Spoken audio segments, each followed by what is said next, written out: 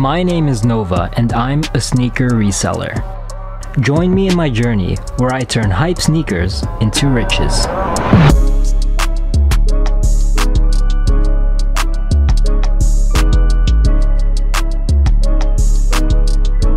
four of those orders did get canceled, but if they do ship out the remaining three orders that didn't get canceled, that would still be a really big W.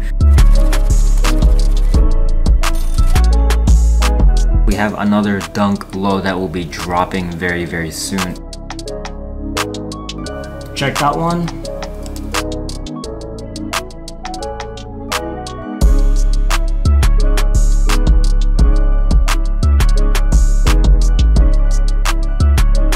about 28 checkouts for the Jordan 14s. They are canceling about 70 to 80% of my orders. Got five pairs of Jordan 1 tie-dyes. Tomorrow we do have more drops, Space Hippie collection. We'll see how I end up doing in the next episode.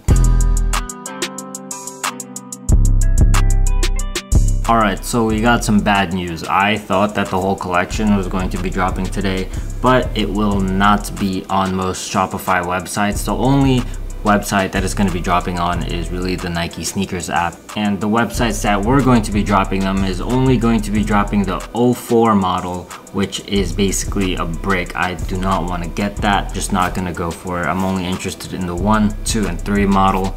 Those are going to be the more profitable ones. Um, I might go for the 04 on Nike SNKRS too just because they have free returns. So we're just gonna wait until 10 o'clock to try to cop these shoes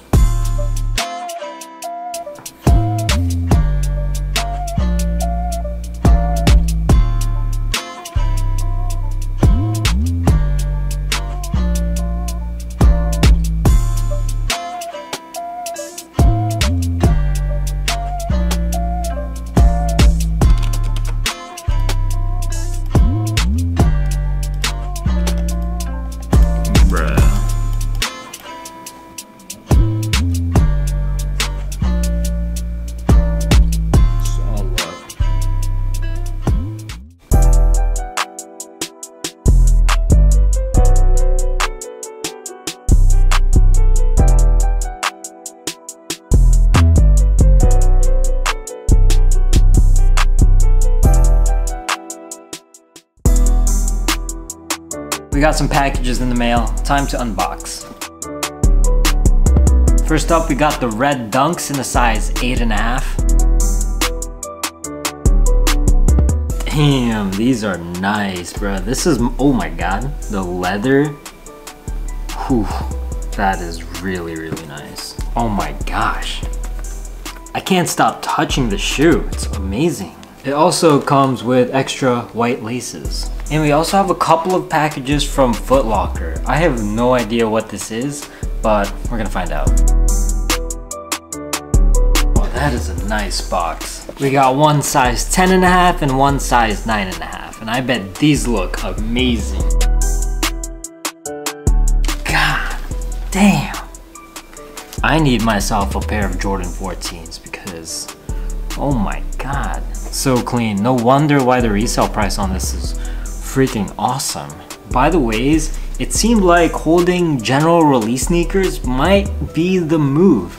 Because if you look at the UNC 3s and the Jordan 11 breads, prices on those on Stadium Goods is about $400 for most sizes. Basically, if you were botting, you could have gotten as many as you wanted for those releases. And now the prices are looking freaking amazing. And I'm really sad that I didn't hold on to most of my pairs. I really didn't expect the prices to go up that high that soon, but they did.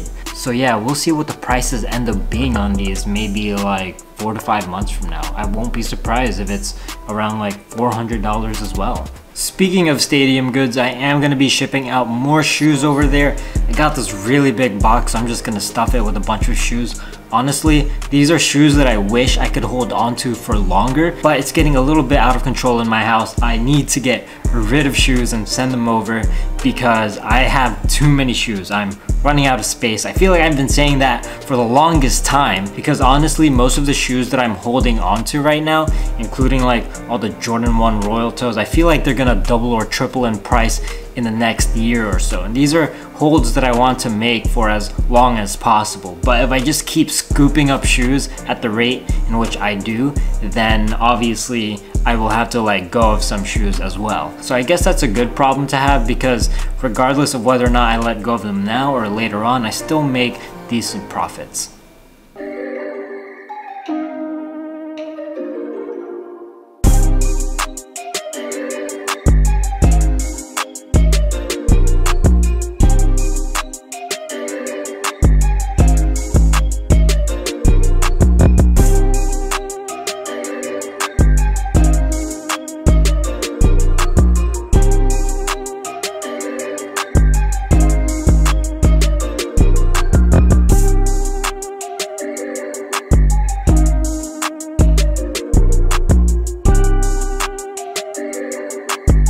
Jordan 5 grapes were supposed to be dropping today, however, the vast majority of retailers decided to push their release back one day, so most of the stores are going to be dropping tomorrow instead. I think I'm gonna like try to aim for 10 pairs that ship out. So far we got one from Kith, size 10 and a half. I do believe these should have a similar resale price as the Jordan 14 Toros. Be also very likely it would have the same price trend as the Jordan 14 Toros.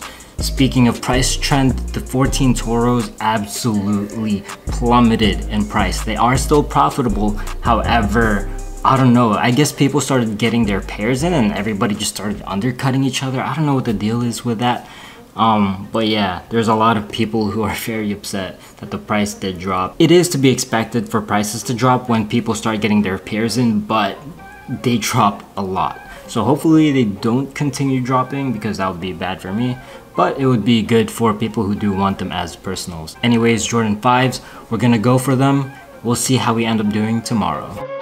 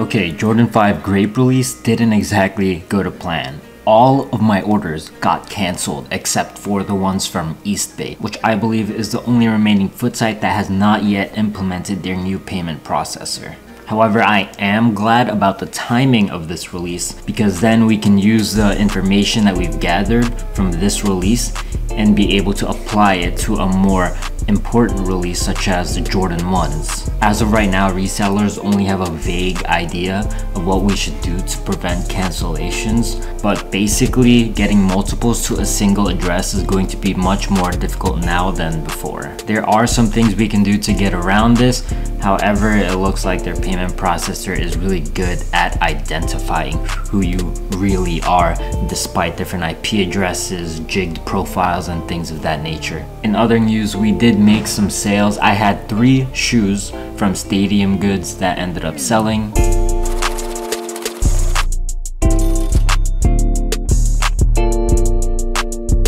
And we also had a few more Jordan 14 Toros that came in the mail and I was able to sell a size 10 and a half to a neighbor for $260. Anyways, we do have Supreme Vans dropping. We are going to be going for the high top versions in both colors. This time I'm more prepared. I have many different jig profiles to try and get around the bans and the blacklists if I am blacklisted so we're gonna try to run for it as always with Supreme I'm not expecting much however this time I am running both MEK and Kodai so we'll see how I end up doing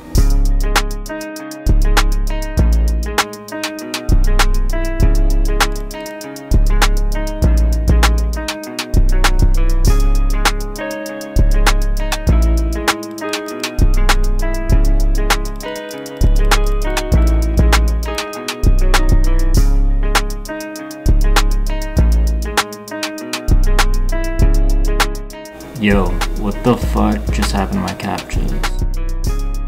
Like it's just not showing up on the solvers. Bro, I am such an idiot. I figured out what I did wrong with the captchas. Okay, so if you go over here, it says captcha harvester count. This is how many captcha harvesters you want, right? Obviously. So then I hit sign up. I thought that meant like sign up to like the Gmail, like log in, right? Obviously they're different, but um, my brain was telling me this meant log in, but but this is supposed to only be used for the Supreme in-store sign-ups. That's what that means. So, I literally had the wrong CAPTCHA harvesters up. That's why it wasn't solving any CAPTCHAs. I was supposed to hit default, which is for the online releases. And uh, yeah, I'm a dummy. 100% my fault. This was not attributed to me like being blacklisted or me being unlucky.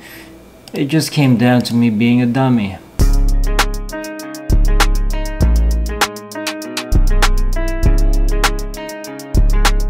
So the Grape 5s restocked a little bit earlier today. I got a total of 4 checkouts and surprisingly one of them did not get cancelled. This was from Footlocker by the way. So these are profiles that normally don't get cancelled. We haven't really figured that out however we still do have that one checkout that didn't get cancelled so I know that one profile should be good and ready to go for this Saturday. Anyways we do have 5 boxes to open up so let's get to it.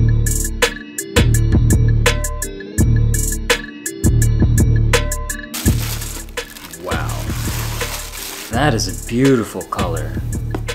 What is that? Can I just take that out? Yep.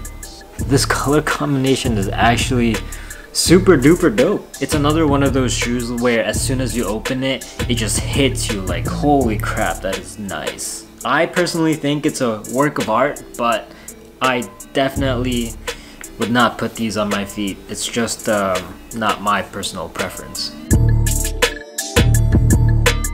Here we have another two Yeezy Quantum Bariums, one in a size 9 and the other in a size 7.5. Prices on these definitely not looking as good as they used to before. Uh, I guess it is just a little bit too weird for the masses. We have another Jordan 1 mid in a size 8.5. Now these bricked so hard, I might as well return it. However, I did sell one for a decent price so I'm not to complain about that and does have decent potential to go up over time. But hopefully they can get these listed on Stadium Goods sometime soon because I think it will do alright over there. And lastly we have another Jordan 14 Toro in a size 10.5. Coming up in about two days we have the Jordan 1 Smoke Grays and the Yeezy 700s. Those two drops are super duper hyped. I don't even know if I'm ready for them being that foot sites keep changing things up, but I am to try to get as many of both of these shoes as possible. However, I really don't like it when more than one sneaker drops on the same day because there's usually a lot of overlap. So I really have to pick and manage which websites I have to go for. It's to be really interesting. I'm really excited and hopefully we can get a bunch of them. We're to see how I end up doing on those releases on the next episode.